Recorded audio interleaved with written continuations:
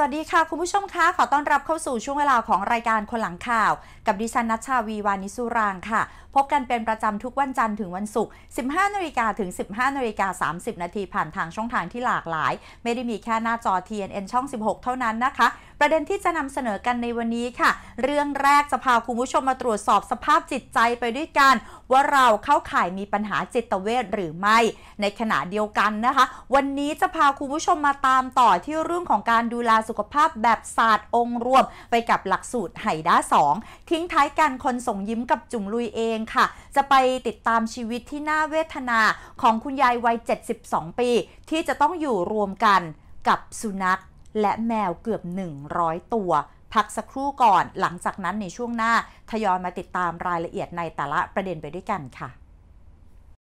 โรงพยาบาลราชวิถีจัดกิจกรรมเปิดวอวิ่ง The Ambulance Run 2023 เนื่องในโอกาสครบรอบ 72 ปีโรงพยาบาลราชวิถี เพื่อนำรายได้จัดซื้อเครื่องมือและอุปกรณ์การแพทย์ อาคารอุบัติเหตุและฉุกเฉิน ส่งต่อการให้เพื่อหลายชีวิต สนใจสมัครออฟไลน์ที่ลานน้ำพุ หน้าอาคารสิรินทรโรงพยาบาลราชวิถี หรือลงทะเบียนออนไลน์ตั้งแต่วันนี้ จนถึงวันที่ 15 มีนาคม สอบถามรายละเอียดเพิ่มเติมที่หมายเลขโทรศัพท์ 0950530444 และ 080-378-7972 แล้วพบกันในวันที่ 26 มีนาคม 2566 ณ สวนเบญจกิติค่ะ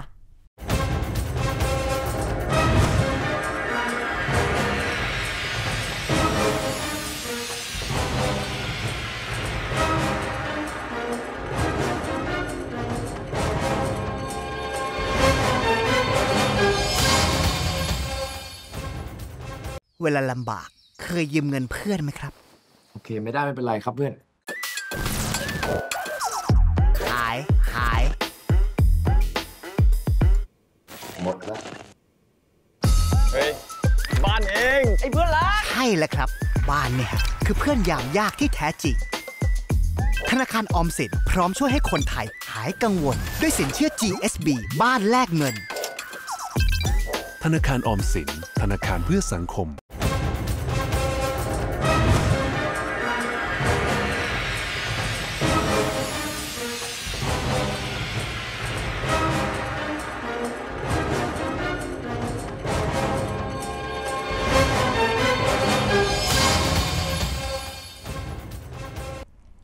ลับเข้าสู่ช่วงที่ 2 ของรายการคนหลังข่าวกับการติดตามข้อมูลข่าวสารด้านสุขภาพ ปฏิเสธไม่ได้นะคะ ว่าการใช้ชีวิตทุกวันนี้เนี่ยมีหลากหลายปัจจัยเข้ามากดดันการใช้ชีวิต แล้วส่งผลทำให้เรามีความเครียด ถ้าเกิดว่าความเครียดสะสมเนี่ยก็กังวลใจนะคะ ถ้าเกิดปล่อยไว้อาจจะกลายเป็นปัญหาทางจิตเวชก็ได้ ดังนั้นในวันนี้เราก็เลยอยากจะเชิญชวนคุณผู้ชม มาร่วมสำรวจจิตใจของเราเองหน่อยค่ะว่าเข้าข่ายมีปัญหาจนเรียกว่า เป็นโรคจิตเวชแล้วหรือยังแล้วถ้าเกิดมีปัญหาความเครียดหนักๆมาก ๆเกิดขึ้นเนี่ยถึงขั้นที่จะต้องไปพบจิตแพทย์ไหม แล้วในขณะเดียวกันก็จะมีเคล็ดลับมาฝากกันด้วย เวลาเครียดมากๆ กินอาหารอะไรดี เพื่อที่จะช่วยทำให้เราคลายความเครียดไปได้ มาติดตามข้อมูลไปด้วยกันค่ะอารมณ์และจิตใจเป็นเรื่องที่อธิบายได้ยาก ความรู้สึกและการแสดงออกบางอย่างก็ไม่มีเหตุผลค่ะ หลายๆ คนอาจกำลังเสี่ยงมีอาการป่วยทางจิต เนื่องจากกำลังเผชิญกับเรื่องหนักๆจำแนกโรคทางจิตเวชมีหลายหมวดหมู่ในแต่ละบุคคล เช่น บางรายต้องพบกับความเสียใจหนักๆ เพิ่งจะผ่านการสูญเสียคนใกล้ชิด เครียดกับงานที่หาทางออกไม่ได้ ได้รับแรงกดดันสะสมจากความสัมพันธ์ที่ไม่เป็นอย่างที่คาดหวัง มีหลากหลายสาเหตุที่ส่งผลทำให้คนเราป่วยทางจิต แล้วอาจจะมีผลกับทางร่างกายตามไปด้วย แต่เราจะรู้ได้อย่างไรว่าอาการป่วยทางใจที่เป็นอยู่ ไม่ว่าจะเพิ่งเริ่มมีอาการ หรือเป็นมานานแล้วนั้นจะเข้าข่ายกลายเป็นโรคทางจิตเวชที่ไม่ใช่เพียงแค่อารมณ์ผิดปกติชั่วครั้งชั่วคราว และควรต้องปรึกษาแพทย์ก่อนที่จะสายเกินแก้ ถ้าเกิดเรามีอาการเหล่านี้ อาจจะไม่ใช่เพียงแค่ความผิดปกติทางอารมณ์ทั่วไปนะคะ อาจจะเป็นสัญญาณของโรคทางจิตเวชก็ได้ ไม่ว่าจะเป็นอาการนอนไม่หลับ หรือนอนมากเกินไป รวมถึงมีอาการอย่างหนึ่งอย่างใดติดต่อกันนานเกิน 2 สัปดาห์ หรือเป็นเดือนจนกระทบกับการใช้ชีวิต อยากจะแยกตัวเก็บตัวอยู่คนเดียว อยู่ๆก็ไม่อยากทำสิ่งที่เคยชอบทำไม่อยากออกไปใช้ชีวิตตามปกติ รวมถึงไม่ใส่ใจดูแลตัวเอง ไม่อยากทำแม้กระทั่งการอาบน้ำแปรงฟันหรือการแต่งตัว เกิดความรู้สึกไม่มีความสุขกับการใช้ชีวิตร่วมกับผู้อื่น ไม่ว่าจะเป็นคนในครอบครัวในที่ทำงาน หรือแม้แต่ในโลก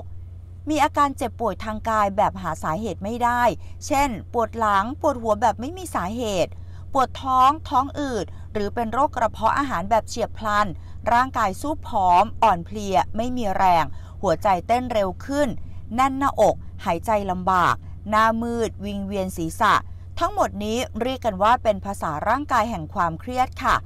เบื่ออาหารไม่อยากจะกินอะไรเลยจนน้ำหนักลดลงอย่างรวดเร็วสู้ผอม หรือกินมากเกินกว่าปกติแบบต่อเนื่อง จนน้ำหนักตัวขึ้นอย่างรวดเร็ว และควบคุมพฤติกรรมการกินของตนเองไม่ได้ อยู่ๆก็ไม่มีสมาธิไม่สามารถจดจ่อกับสิ่งที่ต้องทำได้ตามปกติ ความสามารถในการคิดอ่านลดลง ตัดสินใจในเรื่องธรรมดาธรรมดาก็ยังทำไม่ได้ มีพฤติกรรมหุนหันพลันแล่น มั่นใจในตัวเองมากเกินปกติ มีอารมณ์คลึกครื้นไม่อยากนอน มีพลังงานสูงมากเกินปกติ พูดเร็วทำเร็ว รวมถึงใช้จ่ายฟุ่มเฟือย ใช้จ่ายแบบไม่คิดมีอารมณ์ซึมเศร้าและคิดว่าตนเองไร้ค่า สะเทือนใจง่าย ร้องไห้บ่อย คิดว่าตนเองเป็นภาระ ท้อแท้ตำหนิตัวเอง หมดความสนใจในสิ่งที่ชอบ มองเห็นแต่ข้อผิดพลาดของตัวเอง รู้สึกสิ้นหวัง หรืออาจจะมีความคิดอยากตาย เมื่อมีอาการดังกล่าวการพบจิตแพทย์จะช่วยเราได้ดังนี้ค่ะ ช่วยทำให้เกิดความเข้าใจในตนเอง จิตแพทย์จะรับหน้าที่เป็นผู้รับฟัง และเป็นกระจกสะท้อนถึงปัญหาที่เจอจากการสอบถามปัญหาในเชิงลึกเท่าที่จำเป็นทำให้คุณสามารถมองเห็นความรู้สึกของตัวเองได้ดีขึ้น ช่วยทำให้ยอมรับกับปัญหา เพราะการยอมรับว่าชีวิตนี้มีปัญหาถือเป็นบันไดขั้นแรกสุดของการแก้ไขปัญหาอย่างหนึ่ง ซึ่งการเข้าพบจิตแพทย์จะช่วยทำให้คนที่มองไม่เห็นถึงความรู้สึกทุกข์ของตนเอง สามารถยอมรับถึงปัญหาที่มี และหาทางรับมือกับมันได้ดีมากยิ่งขึ้น ช่วยทำให้คนรอบข้างเข้าใจในตัวผู้ป่วย การเข้าพบจิตแพทย์ไม่ได้จำเป็นจะต้องไปคนเดียวนะคะ การพาคนใกล้ชิดมาร่วมรับฟังด้วย จะเป็นส่วนหนึ่งที่ทำให้เกิดความเข้าใจในความรู้สึกทุกข์ใจของผู้ป่วย พร้อมกับเรียนรู้วิธีการบำบัด และรักษาในแบบที่ถูกต้อง ซึ่งจะช่วยทำให้อาการบรรเทาเบาบางลงได้กว่าการใช้ความพยายามในการรักษาตัวเองคนเดียวช่วยทำให้อาการทุเลาลงได้จากการใช้ยา หลายคนที่เข้าพบจิตแพทย์อาจได้รับการรักษาจากการใช้ยาร่วมด้วย ซึ่งการใช้ยาควบคู่ไปกับการบำบัดก็ไม่ได้น่ากลัวอย่างที่คิดค่ะ เป็นการปรับสมดุลการใช้ชีวิต เพื่อให้สามารถเตรียมพร้อมรับมือกับอาการของโรคทางใจ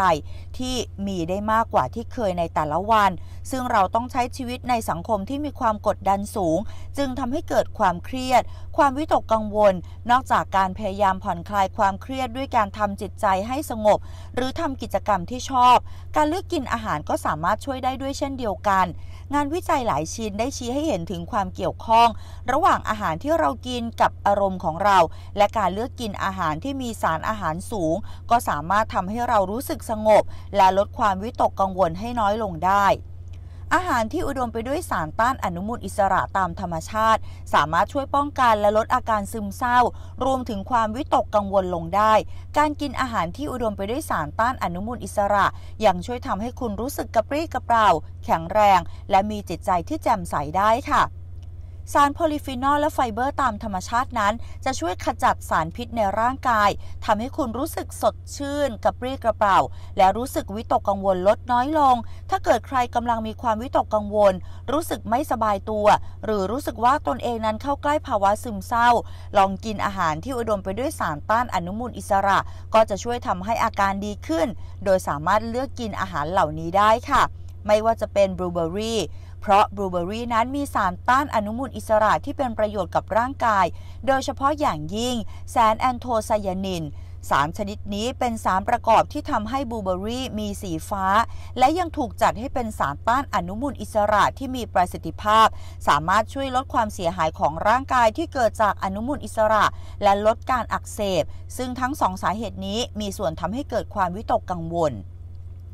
ช็อกโกแลต เมื่อเรารู้สึกเศร้าใจ ช็อกโกแลตอาจจะเป็นอาหารที่ช่วยทำให้คุณรู้สึกดีขึ้นได้ เนื่องจากสารประกอบฟลาโวนอยด์ในโกโก้ มีประโยชน์ในการช่วยป้องกันระบบประสาท และมีประโยชน์ในด้านการช่วยกระตุ้นอารมณ์ให้รู้สึกดีขึ้น ช่วยลดความเศร้า และลดความวิตกกังวลลงได้ ขมิ้นเป็นอาหารที่อุดมไปด้วยสารต้านอนุมูลอิสระ ที่ช่วยลดความวิตกกังวลลงได้ด้วยเช่นเดียวกัน รวมถึงมีฤทธิ์ในการช่วยต้านการอักเสบ และมีคุณสมบัติในการต้านอนุมูลอิสระด้วย เนื่องจากสารเคอร์คูมินที่เป็นสารประกอบที่พบได้ในขมิ้นเท่านั้น สามารถช่วยทำให้ขมิ้น มีคุณสมบัติในการลดความเครียด และลดการอักเสบค่ะ ผักโขม นอกจากสารต้านอนุมูลอิสระแล้ว ผักโขมยังเต็มไปด้วยแมกนีเซียม ซึ่งเป็นแร่ธาตุที่จำเป็นในการสร้างเอนไซม์และบำรุงระบบต่างๆ ในร่างกายให้มีประสิทธิภาพ รวมถึงกระบวนการทางสมอง และระบบประสาทที่เกี่ยวข้องกับการลดความเครียด และลดความวิตกกังวลด้วย อย่าลืมนะคะ คนในครอบครัวถือว่ามีความสำคัญมากที่สุดเลย ที่จะช่วยทำให้ผู้ป่วยมีอาการดีขึ้นนะคะ ดังนั้นเนี่ยเราควรจะต้องเข้าใจเปิดใจรับฟังให้กำลังใจ และไม่ใช้ถ้อยคำที่รุนแรงกับผู้ป่วย เพราะถ้าเกิดใช้ถ้อยคำหรือคำหยาบคาย จะทำให้ผู้ป่วยมีอาการที่แย่ลง เอาล่ะช่วงนี้พักกันสักครู่ก่อน หลังจากนั้นในช่วงหน้าจะพาคุณผู้ชมมาติดตาม ศาสตร์ในการดูแลสุขภาพแบบองค์รวมกับหลักสูตรไฮด้า2 สักครู่เดียวค่ะ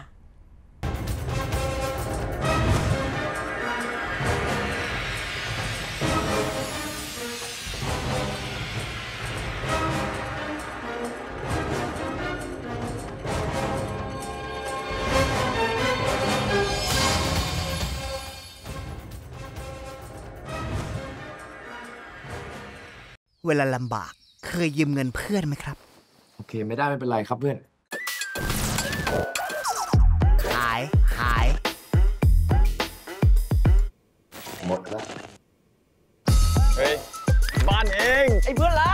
ละครับ บ้านเนี่ยคือเพื่อนยามยากที่แท้จริง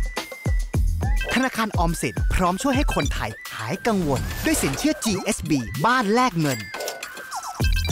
ธนาคารออมสิน ธนาคารเพื่อสังคม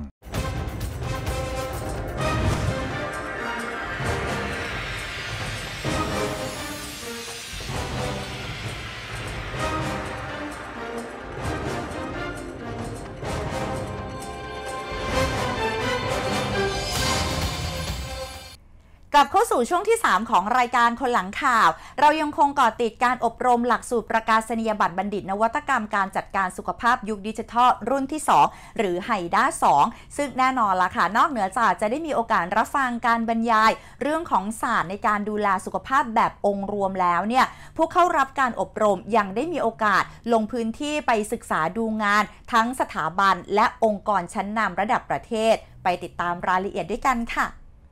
ก็ติดการอบรมหลักสูตรประกาศนียบัตรบัณฑิต นวัตกรรมการจัดการสุขภาพยุคดิจิทัล หรือไฮด้ารุ่นที่ 2 ซึ่งมีทั้งภาควิชาการ ภาคปฏิบัติ รวมทั้งการลงพื้นที่เพื่อศึกษาดูงานสถาบัน และองค์กรชั้นนำเพื่อให้ผู้เข้ารับการอบรม สามารถนำความรู้ในการดูแลสุขภาพแบบศาสตร์องค์รวมแบบครบวงจรและรอบด้าน ไปปรับใช้ในชีวิตประจำวัน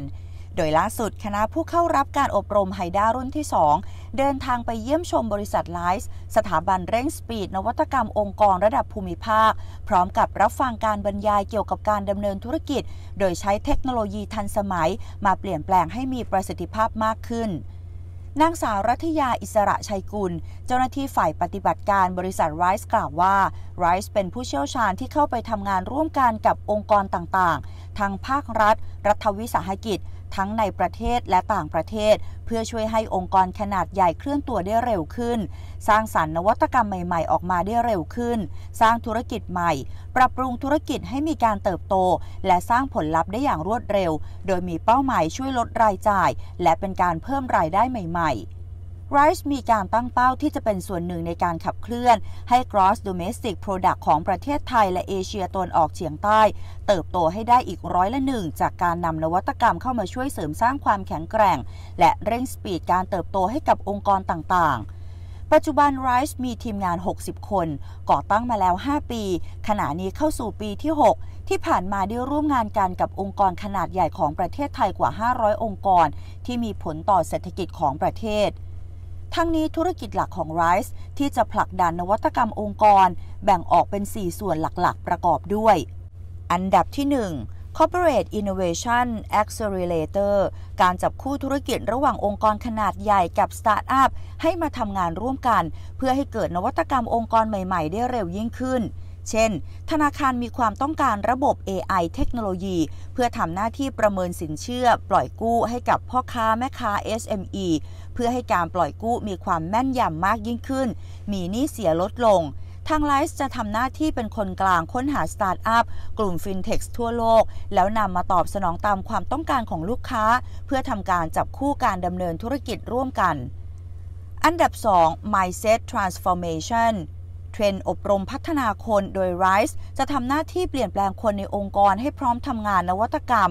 ซึ่งจะมีการสร้างเวิร์กช็อปให้คนในองค์กรและรัฐบาลเข้าร่วม รวมถึงเรียนรู้ผ่านประสบการณ์ทำจริง เพื่อให้เข้าใจธรรมชาติ และสร้างนวัตกรรมองค์กรใหม่ ที่สามารถใช้ได้จริง และประสบความสำเร็จ ซึ่งมีมากกว่า 200 โปรเจกต์จะได้ผลลัพธ์กลับไปเฉลี่ย 50 เท่าของเงินที่ลงทุน ในรูปแบบของโปรเจกต์ใหม่ ๆ อันดับ 3 Venture Capital ลงทุนในเทคโนโลยีที่ทันสมัยล้ำหน้า Rise จะทำหน้าที่สำรวจค้นหาคัดสรร บริษัทเทคโนโลยีทันสมัยจากทั่วโลกเพื่อการลงทุน ส่วนใหญ่จะเป็นบริษัทขนาดเล็ก แต่มีโอกาสเติบโตตามเทรนด์ของโลก ปัจจุบันได้มีการตั้งกองทุนโดยร่วมกันกับบริษัทเอกชน ลงทุนสร้าง Joint Venture ไปแล้ว 2 แห่ง ขนาดของกองทุนกว่า 3,000 ล้านบาท เช่นบริษัท Band Protocol เป็นของคนไทยเกี่ยวกับการลงทุนคริปโตเคอเรนซีให้บริการด้านข้อมูล ส่วนอันดับที่ 4ให้บริการดิจิทัลแพลตฟอร์ม ภายใต้ชื่ออาทีนาทำหน้าที่ให้คำปรึกษาด้านการลงทุน การวิจัย รวมผู้เชี่ยวชาญจากหลากหลายสาขาทั่วทุกมุมโลก มาคอยให้คำปรึกษา ซึ่งใช้ระยะเวลา 15-50 นาที มีผู้สนใจเข้าใช้บริการมากกว่า 10,000 ครั้ง เช่น ลูกค้าทั่วไป นักศึกษา นักเรียน บริษัท เพื่อช่วยเอื้อให้การคิดค้นนวัตกรรมเทคโนโลยีทันสมัย มีความสำเร็จมากขึ้นสำหรับ Venture Capital การลงทุนในเทคโนโลยีที่ทันสมัยล้ำหน้า เป็นสตาร์ทอัพของต่างประเทศ เช่น กลุ่ม Healthcare บริษัทควีนประเทศอเมริกาทำเทคโนโลยีที่เกี่ยวกับสุขภาพของสตรี เช่น ตรวจเช็กภายในจากเลือดประจำเดือน ตรวจน้ำตาลในเลือด แจ้งผลตรวจผ่านแอปนอกจากนี้ยังมีบริษัทที่คิดค้นเครื่องชั่งน้ำหนัก สแกนเท้าสำหรับผู้ป่วยเบาหวาน บริษัทคิดค้นหุ่นยนต์ ตรวจคัดกรองสารเคมีที่ปนเปื้อน ในผักผลไม้ประเภทออร์แกนิก บริษัทที่คิดค้นการสร้างเซลล์ปลาในแล็บทำให้ปลาที่ใช้ในการบริโภคมีความสะอาดปลอดเชื้อโรค อย่างไรก็ตามสิ่งสำคัญที่ประกอบการพิจารณาการลงทุนของกองทุน RISE จะมองถึงผลกำไร รวมถึงสามารถนำเทคโนโลยีที่ทันสมัย สามารถนำกลับมาร่วมลงทุนกับบริษัทที่เป็น partner เช่น บริษัทปตท CPN สิงห์เวนเจอร์ โดยการลงทุนจะต้องมีผลตอบแทนกลับมา 5-10 เท่า ภายในระยะเวลา 5 ปี เรายังคงมีเรื่องราวและสาระดีๆ จากการอบรมหลักสูตรประกาศนียบัตรบัณฑิต นวัตกรรมการจัดการสุขภาพยุคดิจิทัลรุ่นที่ 2 หรือไฮด้า2มานำเสนอให้คุณผู้ชมได้ติดตามกันเป็นประจำทุกสัปดาห์ ต้องห้ามพลาดนะคะ สมเด็จพระนิษฐาธิราชเจ้ากรมสมเด็จพระเทพรัตนราชสุดาสยามบรมราชกุมารี ทรงพระกรุณาโปรดเกล้าโปรดกระหม่อม เสด็จพระราชดำเนินทรงเป็นประธาน งานเฉลิมพระเกียรติพระบาทสมเด็จพระพุทธเลิศล่านภาลัย ณอุทยานพระบรมราชานุสรณ์พระบาทสมเด็จพระพุทธเลิศล่านภาลัย หรืออุทยานรอสองอำเภออัมพวาจังหวัดสมุทรสงคราม ในวันที่ 25 กุมภาพันธ์ 2566 เวลา 15นาฬิกา ขอเชิญรับชมการถ่ายทอดสดทางช่อง m c o t HD หมายเลข 30 และขอเชิญเข้าชมงาน ในวันที่ 26 กุมภาพันธ์ 2566 ตั้งแต่เวลา 10นาฬิกาเป็นต้นไป พบกับกิจกรรมอาทิการแสดงนาฏศิลป์ตามบทพระราชนิพนธ์ในพระบาทสมเด็จพระพุทธเลิศล่านภาลัย ละครเสภาเรื่องขุนช้างขุนแผน ตอนขึ้นเรือนขุนช้าง พานางวันทองหนี จัดแสดงวันที่ 25 กุมภาพันธ์ 2566 โขนเรื่องรามเกียรติ์ชุดหุ่งน้ำทิพย์จัดแสดงในวันที่ 25 กุมภาพันธ์ 2566 และวันที่ 26 กุมภาพันธ์ 2566 การแสดงหุ่นกระบอกออกตัว เรื่องพระอภัยมณี ตอนนางละเวงก่อศึก จัดแสดงในวันที่ 26 กุมภาพันธ์ 2566 การบรรเลงและขับร้องวงดุริยางสากล กรมศิลปากร สาธิตและจำหน่ายอาหารคาวหวาน ในบทพระราชนิพนธ์รัชกาลที่สองอาหารคาวหวานตำรับราชสกุลรัชกาลที่สองสาธิตงานหัตถศิลป์ อาทิเครื่องแขวน มาลัย ดอกไม้ประดิษฐ์ หัวโขน เบญจรงค์และสินค้าโอท็อปสมุทรสงคราม นิทรรศการพริกมันบางช้าง นิทรรศการผ้าย้อมสี และพันไม้ที่นำมาย้อมสี สอบถามรายละเอียดเพิ่มเติมได้ที่หมายเลขโทรศัพท์ 022821442 034751666 และ 034751376 Inbox Facebook Page อุทยานรอสอง คณะอาจารย์หมอแพทย์อาสาจากสิริราช รามาจุฬาโรงพยาบาลตำรวจ โรงพยาบาลสามเหล่าทัพ และสถาบันโรงเรียนแพทย์อีกหลายแห่ง ร่วมในโครงการตรวจสุขภาพพระภิกษุสงฆ์สัญจรครั้งที่ 24 ที่จังหวัดนครราชสีมา ณ โรงพยาบาลค่ายทหารสุรนารี ในวันเสาร์ที่ 4 มีนาคม ตั้งแต่เวลา 6นาฬิกาเป็นต้นไป โดยมีการตรวจเลือด พร้อมตรวจคลินิกพิเศษอีก 10 คลินิกรู้ผลทุกอย่างภายในวันเดียว สนใจรีบลงทะเบียนผ่าน QR code หรือติดต่อได้ที่หมายเลขโทรศัพท์ 0905645555 รับจำนวนจำกัดเพียงแค่ 1,000 รูปเท่านั้นหมดเวลาของรายการคนหลังข่าวในวันนี้แล้วนะคะ กลับมาติดตามรายการคนหลังข่าวได้ใหม่ในวันจันทร์หน้า 15นาฬิกาถึง 15นาฬิกา30 นาที